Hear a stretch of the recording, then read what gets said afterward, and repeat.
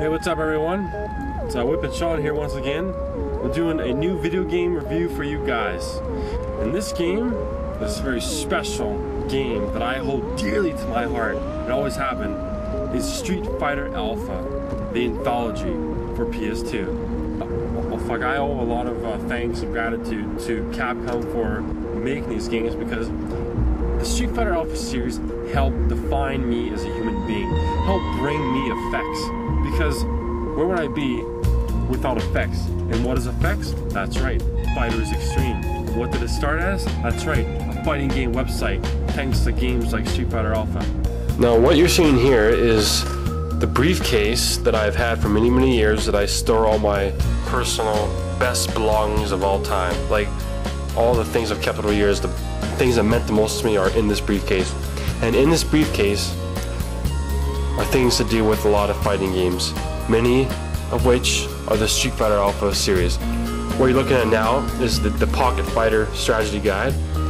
And here's some Street Fighter Alpha 3 and Street Fighter Alpha 2 artwork that I've had for many years now. Here's some Street Fighter Alpha 2 uh, strategy guides, move lists and everything. Like you can see that even back then I was totally into it, like in the 90s. I, I, I love that shit. I kept it fucking close to my fucking heart. It means a fucking lot to me. And this here is the collection of all the games in it. There's Street Fighter Alpha, Street Fighter Alpha 2, Street Fighter Alpha Go, and Street Fighter Alpha 3, and of course the Pocket Fighter. What you're seeing right now is the original Street Fighter Alpha, which I never really liked it that much because it was too much uh, trying to be like a part 2, like a Street Fighter 2, like even with the music and everything. And thankfully with uh, Street Fighter Alpha 2 they changed it. Oh there's me, that was awesome. You like that guys? That's fucking awesome. And Street Fighter Alpha 2 Gold was the first Alpha game that I ever bought. I bought it back on the original PlayStation back in like 97, 98, bitch. I was hardcore back then. Way more hardcore than you guys are right now. Let me fucking tell you. Oh, yeah, here I am. I'm Akuma. Just, oh, there's my Dragon Punch. Fucking kick of death. I'm gonna give uh, I'm gonna give uh, Chun Li here the Raging Demon right away. Just out right now. Here comes. Bam! There it goes. Knock you out, motherfucker. That's how you fucking do it. Whip whip style. Let's play some uh, Street Fighter Alpha 3 now. Uh, this is probably my favorite Alpha game.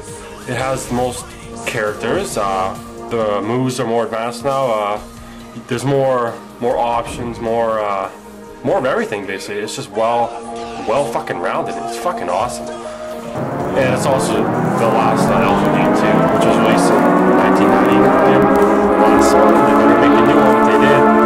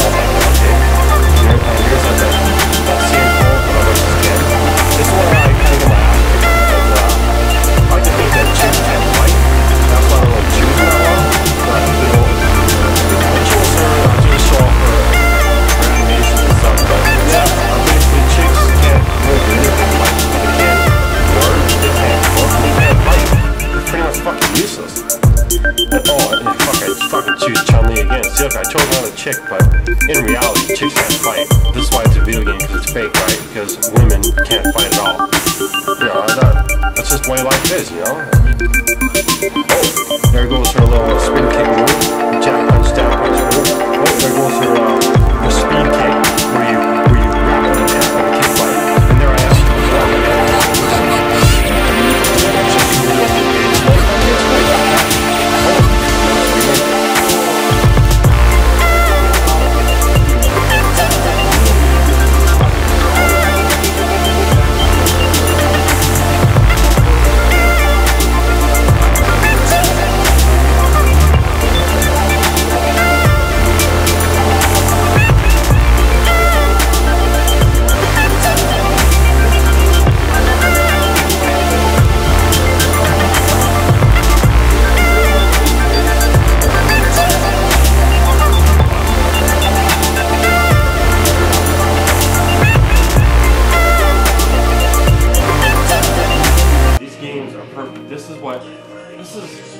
What a fighting game should be. Non-stop, fast action, wicked moves, amazing characters. You don't get this much anymore these days.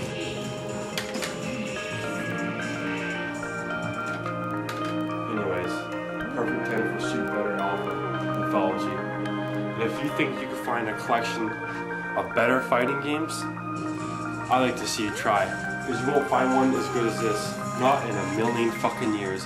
Because those days are over, bitch. These these games here are from the 90s, okay? Not the, the 2000s. There's nothing good has come out of the 2000s yet in terms of fighting games.